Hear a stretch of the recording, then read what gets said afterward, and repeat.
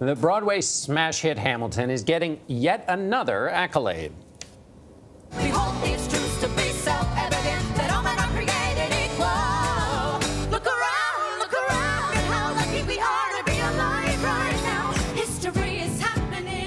Members of the original cast of Hamilton performed the song The Schuyler Sisters at the Kennedy Center Honors earlier this month.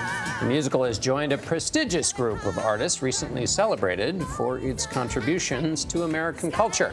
The four co-creators, director Thomas Kail, choreographer Andy Blankenbuehler, music director Alex Lacamoire, and writer, lyricist, and actor Lin-Manuel Miranda all received the famous Rainbow Ribbon. We spoke with them in Washington about their historic achievement. For my Betsy loves me and is acquainted with all the joys of fondness. What? For Lin-Manuel Miranda, a new discovery of a love letter at the Library of Congress can still thrill him about Alexander Hamilton. That's hot, y'all.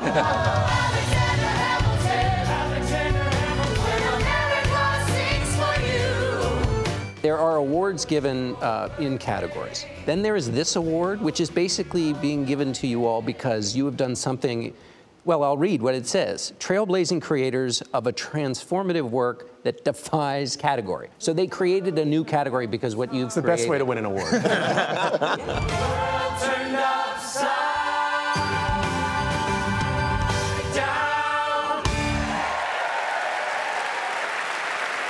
For the first time ever, a creative team is walking away with a Kennedy Center honor. But the four are no strangers to acclaim.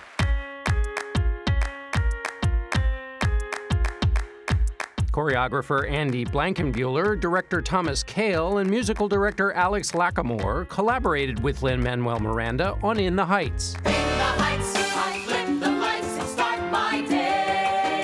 Miranda, Blankenbuehler, and Lacamoire each won a Tony Award for the show, and the 27-year-old Kail was nominated for Best Director. All four won Tonys for Hamilton. It's not a singular effort. The Broadway musical is based on minds coming together, problem solving, creating, being inspired. Me, I trusted him. Me, I loved him. And me, I'm the damn fool that shot him.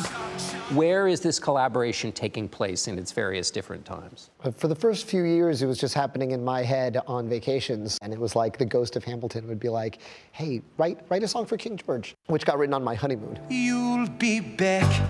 Soon you'll see. You remember you belong to me. And Tommy was like, we should start setting deadlines because if you're gonna average a song a year, this is gonna take us a very long time. Our first deadline was uh, a concert we did at Lincoln Center's, uh, Jazz at Lincoln Center. I remember seeing Andy in the audience. Something like this. Going like this. And being like, oh, Andy's gonna end up choreographing this.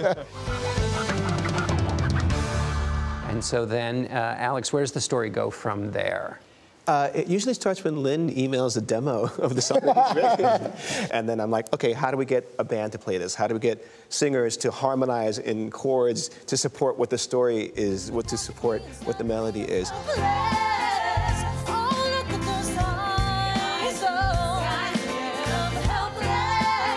Describe how you would explain the way Washington moves. I mean, like. Right Hand Man is a great example because Right Hand Man was always um, supposed to be like Washington stepping out of an oil painting. He's so grand, he's a god to us, and the bullets never hit him. I've literally never heard you describe it that way before, which is amazing.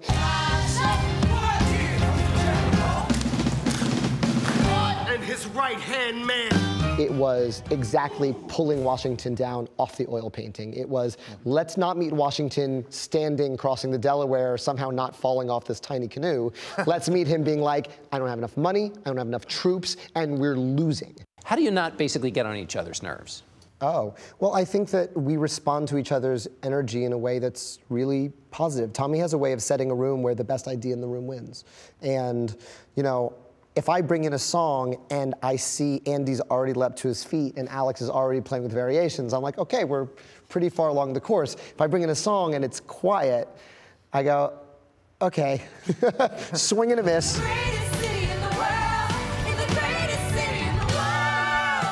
You know, my feeling about it is we all understand instinctively that the stakes can be high and the temperature of the room can be low. And that you can make excellent things with harmony. In the greatest city, in the greatest city in the world. This can be proof that it's possible to make something of high quality that didn't uh, result from acrimony or, uh, you know, or raising your voice. If nothing else, that's one of the things that, that I hope that becomes part of the legacy of the show. I, I remember thinking to myself, like, I do not want to ruin this because everything that Lin has given us is so amazing. we brought you together because we wanted to tell you something. You ruined it. I see you guys next. Thank you so much. But was there ever a moment where you thought, gee, rap about having states' debts assumed by the federal government, that's not going to fly? His plan would have the government assume states' debts. Now place your bets as to who that benefits. I remember the first time Lin brought the demo to me and I heard it. My first reaction was I couldn't tell if it was trying to be tongue in cheek. I was so uh, uh, taken because it was so different. I didn't know what to expect. If you talk, you're gonna get shot. So it wasn't until a year later until I heard my shot. The first black battalion of another shot. And I heard that chant, I am not throwing away my shot. I am not throwing away my shot. I am not throwing away my shot. And I started to see, oh my God, Lin is dead serious about this. And it really started to fill me with something. I never pictured the founding fathers with this kind of energy, with this kind of passion and drive. For Miranda, Hamilton's life and his words seem tailor made for the stage. What can I do better than withdraw from the scene? Every day proves to me more and more that this American world was not made for me. Hmm. And he feels lucky that he got to tell the story. I couldn't believe it hadn't been told in this form. Um, it just it seemed like someone else would have had this idea already. I'm really grateful that I found the right collaborators to help get it out of my head and get it out of the void. What's your name, man? Alexander Hamilton.